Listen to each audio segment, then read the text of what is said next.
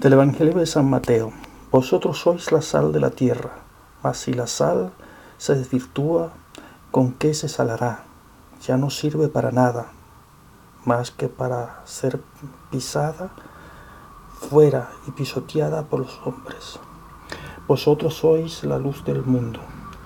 No puede ocultarse una ciudad situada en la cima de un monte, ni tampoco se enciende una lámpara y la ponen debajo del celemín, sino sobre el candelero, para que alumbre a todos los que están en la casa. Brilla así vuestra luz delante de los hombres, para que vean vuestras buenas obras y glorifiquen a vuestro Padre que está en los cielos, del Evangelio de San Mateo.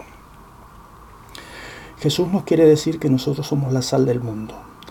Nosotros somos los que nos encargamos de que el mundo no sufra corrupción, no se malogre.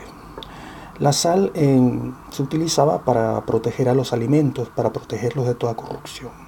Por eso Jesús nos dice que nosotros somos la sal del mundo, que nosotros distribuyamos su palabra y la cumplamos con el ejemplo. Y nos repite, vosotros sois la luz del mundo.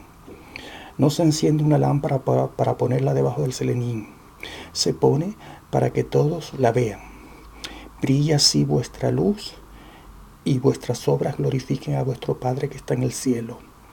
Jesús nos pide que demos el ejemplo, que demos el ejemplo, ese ejemplo que Él nos enseñó. Esa es la luz que tiene que brillar en nosotros, el ejemplo. Y esa luz es para todos, se dirige a todos, se dirige a todo el mundo, se dirige a los políticos, a los jueces, a todos los profesionales del mundo, a todos, a los padres de familia, a todos todos los seres humanos, sin excepción alguna. Y de esta forma nos dice anteriormente, vosotros sois la sal de la tierra. La sal es para proteger la tierra, la tierra. O sea, quiere decir que la sal nuestra quiere decir que sazonemos la tierra con buenas obras.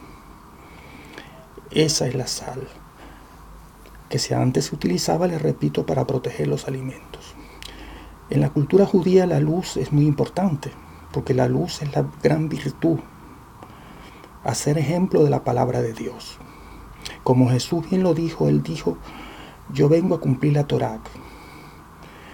Y entonces por medio de, la palabra de Jesucristo nosotros salamos la tierra y le damos luz a la tierra, al mundo, para que el mundo eh, no se desvirtúe y siga el buen ejemplo que Jesús nos enseñó que siguiéramos.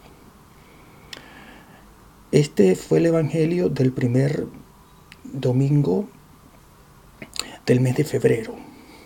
Y por eso recordamos que todos los seres humanos tienen que darle luz al mundo y quitar así las tinieblas. Las tinieblas son todo tipo de injusticias que ocurren,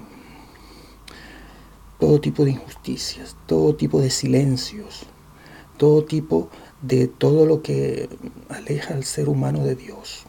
Esas son las tinieblas. Entonces Jesús nos dice, si vosotros sois la luz del mundo, para que por medio de lo que yo os, os he enseñado, deis luz por medio de vuestro ejemplo.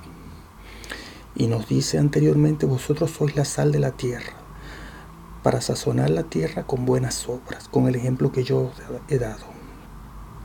Esta es una reflexión de Carlos Alberto Acosta Suárez de la Biblioteca Nacional de España, de la Biblioteca de Cataluña, del Instituto Cervantes y la Real Academia San Fernando. Gracias por su atención como siempre.